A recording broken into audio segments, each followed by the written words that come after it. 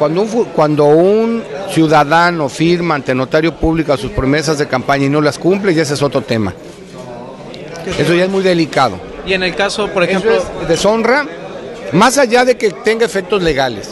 Si yo voy a- como candidato, firmo ante un notario público mis compromisos de campaña y los, y los falseo, la gente te va a castigar.